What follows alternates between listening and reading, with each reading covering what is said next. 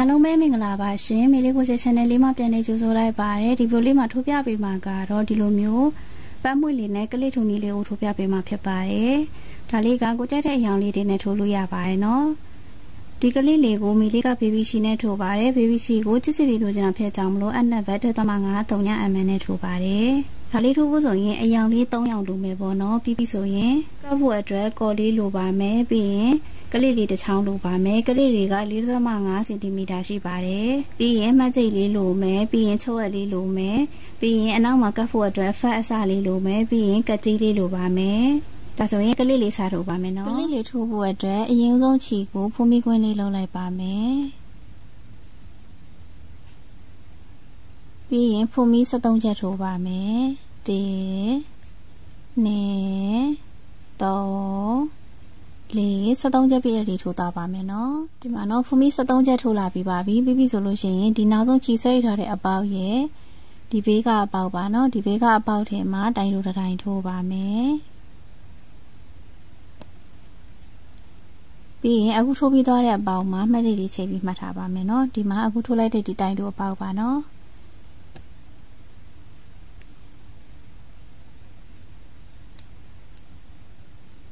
ပြီးပြီဆိုရင်အခုတိုင်တိုထိုးလိုက်တဲ့ဒီတစ်ပေါက်ထဲမှာပဲနောက်တဲ့တိုင်တိုတစ်တိုင်ထပ်ထိုးပါမယ်เนาะတစ်ပေါက်ထဲမှာပဲထိုးပါမယ်ဒါဆိုရင်တစ်ပေါက်ထဲကိုတိုင်တိုနှစ်တိုင်ဖြစ်သွားပါမယ်เนาะပြီးပြီဆိုရင်ဒီဘေးကအပေါက်မှာတိုင်လက်ထိုးပါမယ်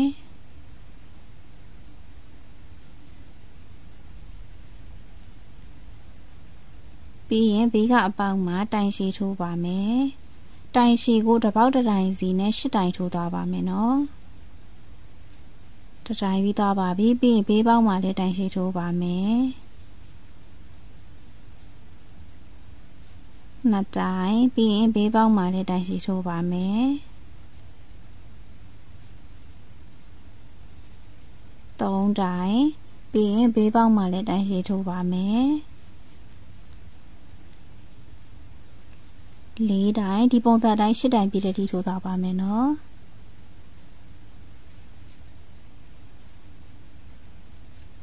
ငါ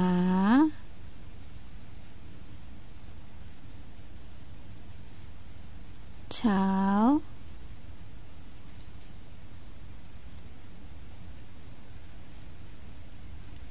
ခွန်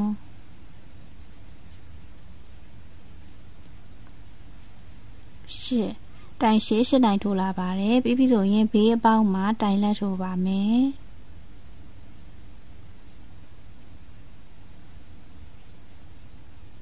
ပြီးရင်ဒီနောက်ဆုံးအပေါက်မှာတပေါက်ထဲကိုတိုင်တိုး၃တိုင်ထိုးပါမယ်ကြည့်တပေါက်ထဲမှာပဲနောက်တစ်တိုင်ထပ်ထိုးပါမယ်နဲ့ပြီးရင်ဒီတပေါက်ထဲမှာပဲနောက်တစ်တိုင်ထပ်ထိုးပါမယ်၃တပေါက်ထဲကိုတိုင်တိုး၃တိုင်ထိုးပါရနော်ပြီးရင်ဒီဘက်ခြံဒီမှာဆက်ထိုးပါမယ်ဒီအခုထိုးလိုက်တဲ့အပေါက်ရဲ့ဘေးပေါက်ပါနော်ဒီဘက်ခြံဒီဘေးပေါက်ထဲမှာတိုင်လက်ထိုးပါမယ် ထိုးတဲ့အခါမာကြိုးစာလေးကိုနားလေးမှာကပ်ပြီးထိုးသွားပါနော်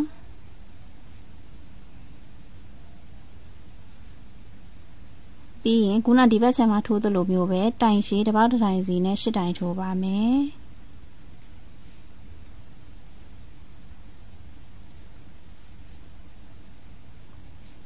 1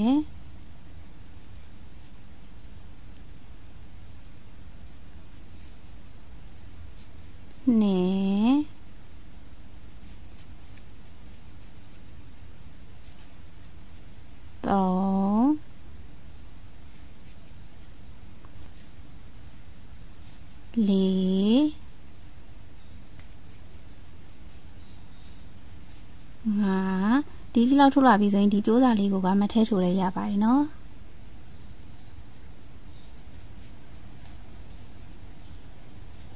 6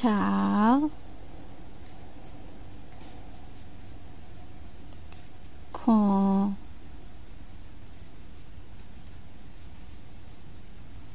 ရှစ်တိုင်ရှိတစ်ပေါက်တစ်တိုင်စီနဲ့ရှစ်တိုင်ထိုးလာပါတယ်ပြီးပြီဆိုရင်ဒီဘေးပေါက်မှာတိုင်လက်ထိုးပါမယ်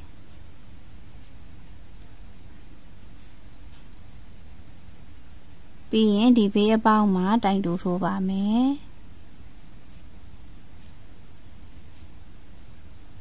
ဒီမှာနော်ဒီလိုမျိုးလေးရပါတယ်မယ်ပြီးပြီဆိုလို့ရှိရင်ဒီမှာမှတ်ချိတ်ချိတ်ထားတဲ့အပေါင်းနော်ဒီအပေါင်းမှာရှက်ကော်ထိုးပါမယ်ရှက်ကော်ထိုးဖို့အတွက်မှတ်ချိတ်လေးကိုဖြုတ်လိုက်ပါမယ်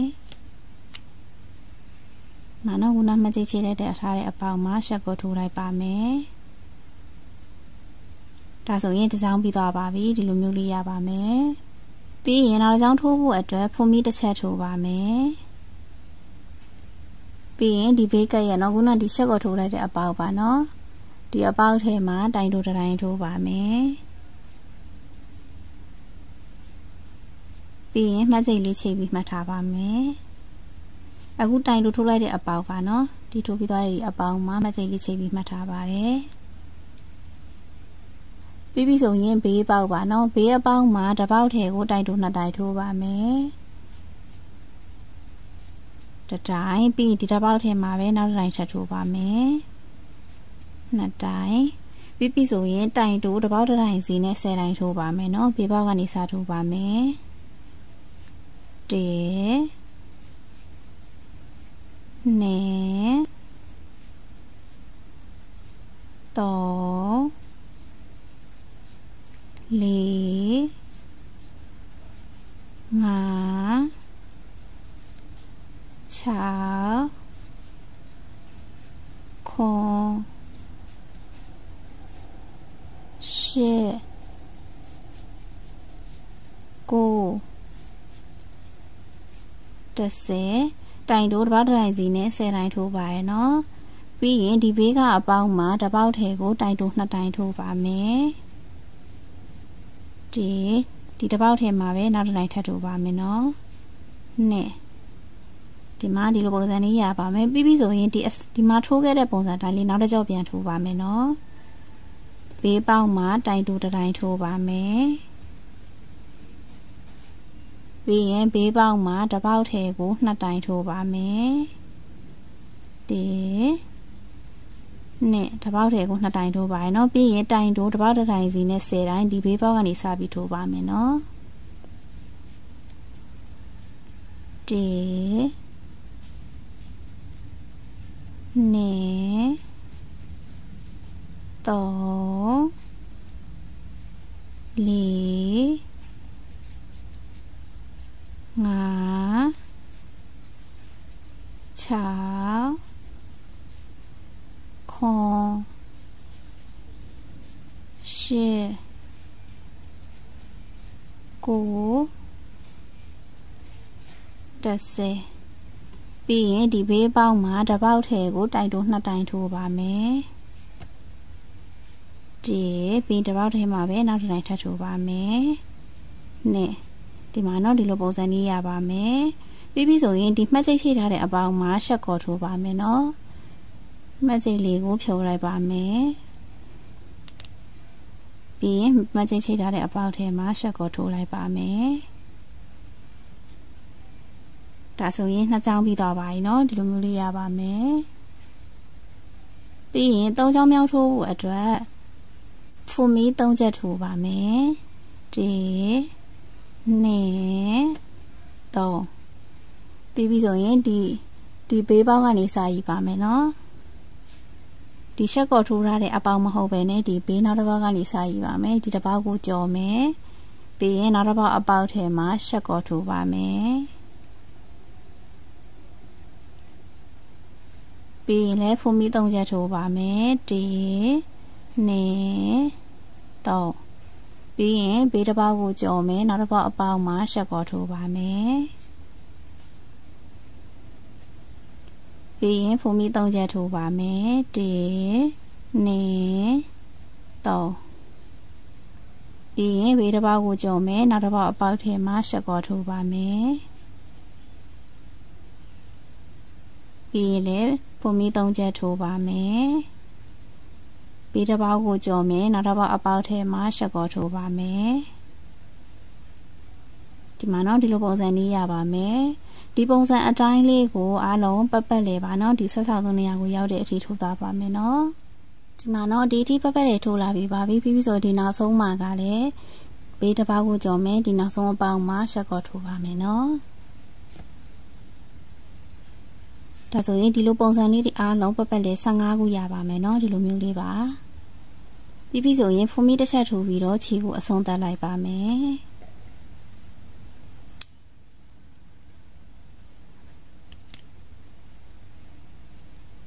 ပြီးရင်ဒီစ조사လေးကိုကမထွက်အောင်လို့ပေါ့နော်ဒီမှာဒီအနောက်မှာဆက်စောက်ဆုံးထိုးရတော့ကကြိုးလေးနဲ့သူ့ကိုခြိထားလိုက်ပါမယ်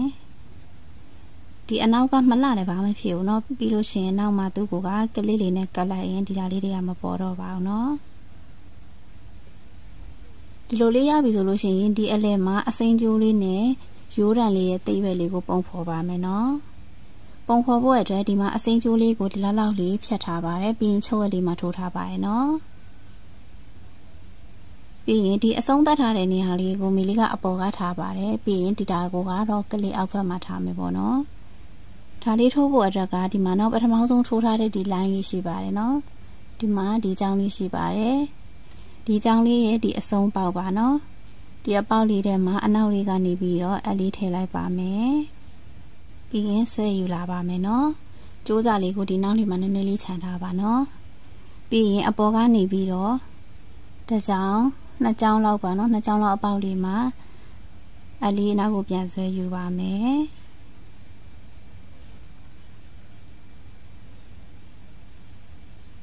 ပြီးရင်အပေါ်ကနေပြီးတော့လေတစ်ကြောင်းနှစ်ကြောင်းလောက်ပေါ့နော်ဒီအပေါက်လောက်လေးမှာအနောက်ကနေအလေးပြန်ထည့်ပါမယ်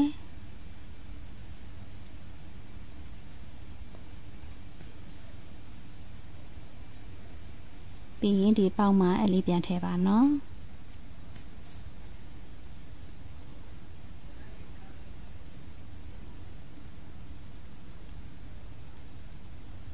စ်ကြစ်လေးဆွဲထားပါနော်ပြီးပြီဆိုလို့ရှိရင်ဒီနားလေးမှာတည့်ရပုံစံလေးထိုးပါမယ်နော်တည့်ရပုံစံလေးထိုးဖို့အတွက်ကဒီအပေါ်ဒီလိုတစ်ချောင်းလောက်ပေါ့နော်ဒီလိုဆောင်းဆောင်းလေးပါဒီပေါက်လည်းမှာအလေးထည့်ပါမယ်ပြီးရင်ဒီနားလေးမှာအလေးကိုပြန်ထည့်မယ်ပြီးရင်ခုနနေရာလေးမှာပဲနှစ်ကြော့ပြန်ဆွဲယူပါမယ်နော်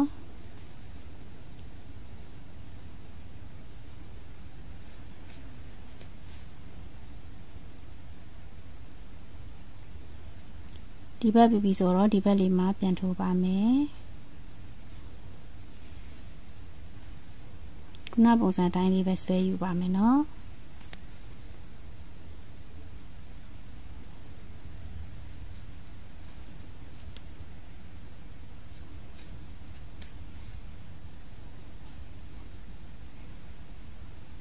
မနော်ဒီလိုမျိုးလေးရပါမယ်ပြီးရင်လည်းဒီနားလေးမှာယူရတဲ့ပုံလေးပြန်ဖော်ပါမယ်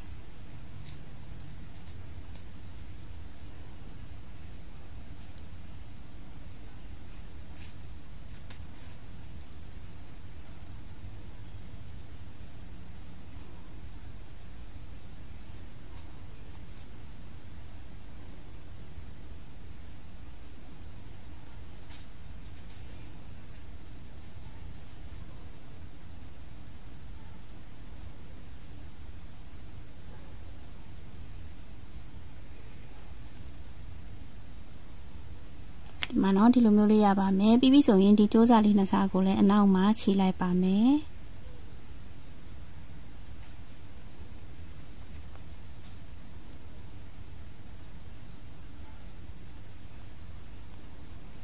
မနော်ဒါဆိုရင်ဒီလိုပုံစံလေးရသွားပါမယ်ပြီးရင်ဒီနားလေးမှာကတ်ဖို့အတွက်ပန်းမွေလေးကိုထိုးပါမယ်နော်ပန်းလေးထိုးဖို့အတွက်အရင်ဦးဆုံးအညာလေးကိုထိုးပါမယ်နော်အညာလေးထိုးဖို့ကအစင်ကျူးလေးနဲ့ထိုးပါမယ် အရင်ဦးဆုံးကွင်းရှင်လေးလုပ်လိုက်ပါမယ်ပြီးရင်ဒီကွင်းလေးထဲမှာတိုင်တိုးနှစ်တိုင်ထိုးပါမယ်တေနှစ်ပြီးရင်ကွင်းဆောက်လုပ်တော့ကကြိုးလေးကိုကြစ်ကြစ်လေးဖြစ်အောင်ဆွဲလိုက်ပါမယ်ပြီးရင်နောက်တစ်ကြောင်းထိုးဖို့အတွက်ဖုံးမီတစ်ချက်ထိုးပါမယ်ပြီးရင်ဒီဘက်လေးကိုလှည့်လိုက်ပါမယ်နော်ပြီးရင်ဒီမှာဒီဒီပထမဆုံးပေါက်နော်ဒီဘေးကဒီပေါက်ထဲမှာ တိုင်တိုးနှစ်တိုင်ထိုးပါမယ်တေနှစ်ပြီးရင်ဒီဘေးကပေါက်ထဲမှာလည်းတစ်ပေါက်ထဲကိုတိုင်တိုးနှစ်တိုင်ထိုးပါမယ်တေနှစ်ပြီးရင်ဖုံးမီတစ်ချက်ထိုးပြီးတော့ခြေကိုအဆုံးသတ်လိုက်ပါမယ်ဒီ ဒီမှာနော်ဒီလိုပုံစံလေးရပါမယ်ပြီးပြီဆိုလို့ရှိရင်ဒီအပေါ်မှာပန်းမွေလေးကိုထိုးပါမယ်ပန်းမွေလေးထိုးဖို့တက်ကမီလေးကဒီအနီလေးနဲ့ထိုးပါမယ်နော်အရင်ဦးဆုံးဖုန်မီကွင်းလေးလောက်လိုက်ပါမယ်ဒီမှာနော်ဒီလိုကွင်းလေးလောက်ထားလိုက်ပါမယ်ပြီးရင်ခုနဒီအစိမ်းကျိုးလေးမှာထိုးထားတာကဒီအကြောင်းမှာက၄ပေါက်ရှိပါရဲ့နော်1 2 3 4ဒီ၄ပေါက်ရှိပါတယ်အဲ့ဒီ၄ပေါက်မှအခုထိုးပါမယ်နော် ဒီမှာပထမအဆုံးဒီအပေါက်လေးကနေစထိုးပါမယ်ခုနဒီအနေကျိုးလေးကိုဆွဲယူလိုက်ပါမယ်နော်ဖွန်မီ၃ချက်ထိုးပါမယ်1 2 3ပြီးရင်ဒီအခုအနီကျိုးလေးဆွဲထားတဲ့ဒီတစ်ပေါက်ထဲမှာပဲတိုင်တိုးတိုင်ထိုးပါမယ် ပြီးရင်ဖုန်မီ၃ချက်ထိုးပါမယ်1 2 3ပြီးရင်ဒီတစ်ပေါက်ထဲမှာပဲရှက်ကော်ထိုးပါမယ်တစ်ပေါက်ထဲမှာပဲထိုးပါမယ်နော်ဒီမှာတော့ဒီလိုမျိုးလေးရပါမယ်ပြီးရင်ဖုန်မီ၃ချက်ထိုးပါမယ်1 2 3ပြီးရင်ဒီဘေးပေါက်ပါနော်ဒီဘေးပေါက်ထဲမှာတိုင်တူထိုးပါမယ်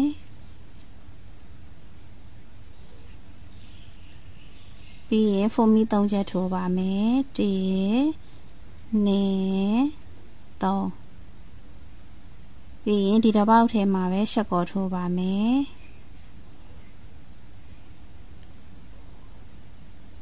ဒီမှာတော့အခုထိုးတဲ့ပုံစံတိုင်းလေးပဲထိုးသွားပါမယ်เนาะဖုန်မီ၃ချက်ထိုးပါမယ်1 2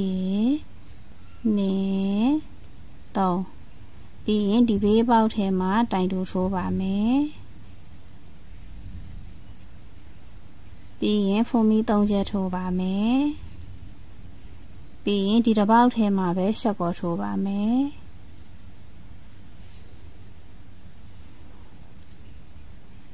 ပြီးရင်ဖုန်မီ၃ချက်ထိုးပါမယ်1 2 3ပြီးရင်ဒီဘေးပေါက်ပါနော်ဒီဘေးအပေါက်ထဲမှာတိုင်တိုးထိုးပါမယ်ပြီးရင်ဖုန်မီ၃ချက်ထိုးပါမယ် ပြီးရင်ဒီတစ်ပေါက်ထဲမှာပဲရှက်ကော်ထိုးပါမယ်နော်ဒီမှာတော့၄ပေါက်စလုံးမှာဒီလိုမျိုးလေးထိုးလာပြီးပါပြီပြီးပြီဆိုရင်ဖုန်မီတစ်ချက်ထိုးပြီးတော့ခြေကိုအဆုံးသတ်လိုက်ပါမယ်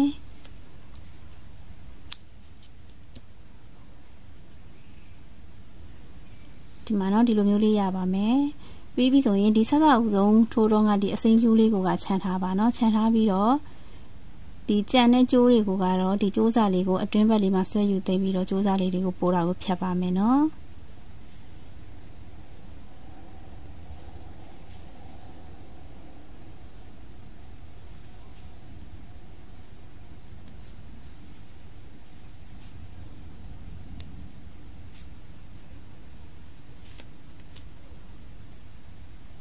ဒီကျိုးလေးကိုမဖြတ်ပါဘူးเนาะဒီအနောက်ကပုံနေတဲ့ကျိုးစာလေးတွေကိုပဲဖြတ်ပါမယ်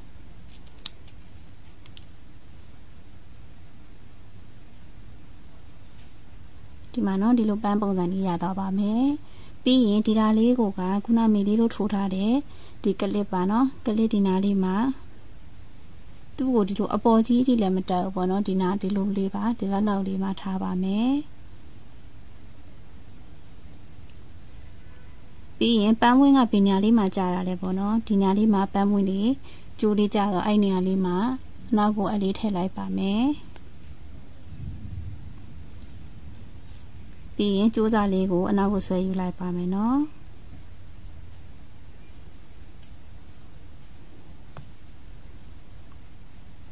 မှာနော်ပန်းဝင်းကိုအရင်ဦးဆုံးနေရာလေးအရင်ချတာပါနော်ကိုလိုချင်တဲ့နေရာလေးကြပြီဆိုလို့ရှိရင်အနောက်ကကျိုးစားလေးကိုကဒီဒီနောက်ကကျိုးလေးနဲ့ပဲတွဲပြီးခြိလိုက်ပါမယ်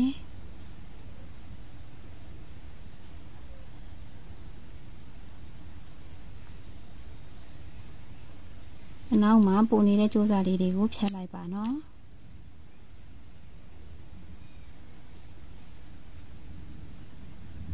ဒီမှာနော်ဒီလိုမျိုးလေးရပါမယ်ပြီးရင်ဒီဓာလေးကဒီနားလေးမှာကော်လေးနဲ့ကတ်လိုက်ပါနော်ပြီးပြီဆိုလို့ရှိရင်ဒီမှာဖားစလေးကိုဒီကလစ်ပုံစံအတိုင်းလေးပေါ့နော်ဒီဒီမှာဒီလိုလေးညှက်ထားပါမယ် ပြီးရင်တော့ဒီကလစ်ပတ်ပတ်လေးပေါ့နော်ပုံစံအတိုင်းလေးပတ်ပတ်လေးလေးဝိုးဝိုက်လေးညှက်လိုက်ပါမယ်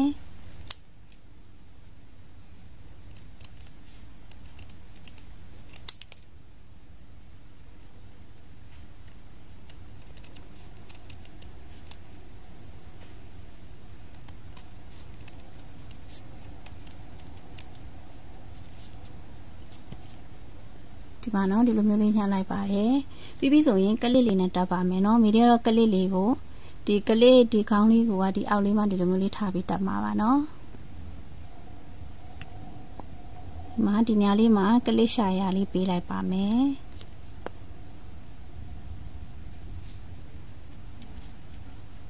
ကကြီးရလေးပေးတဲ့အခါမှာနည်းနည်းလေးပဲပေးပါနော်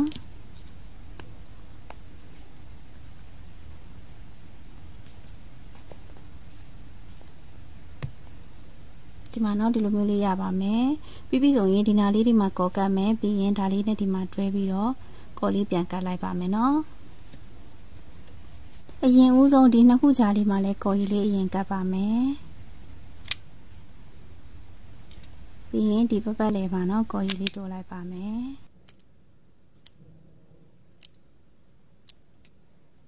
ပြီးရင်ဒီဓာလေးနဲ့ဒီမှာတွဲပြီးတော့ကတ်လိုက်ပါမယ်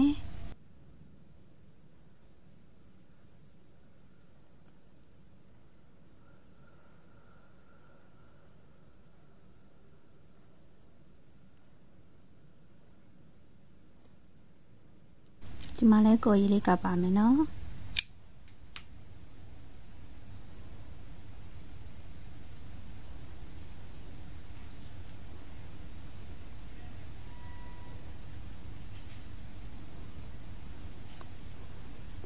ပြီးရင်ဒီဖတ်ဆာနဲ့ဒီကလစ်နေရာလေးမှာကနည်းနည်းလိုတဲ့နေရာလေးတွေရှိရင်ဘေးပပတ်လက်လေးတွေမှာလိုက်ပြီးထပ်ကပ်ပြလိုက်ပါနော်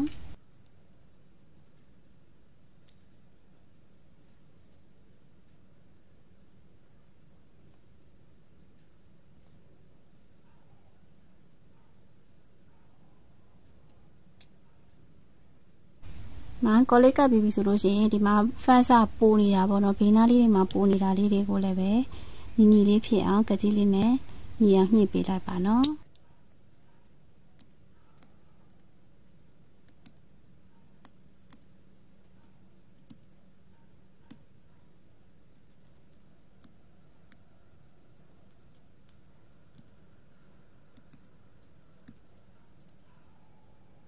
ဒီမှာเนาะဒီလိုပုံစံလေးရပါမယ်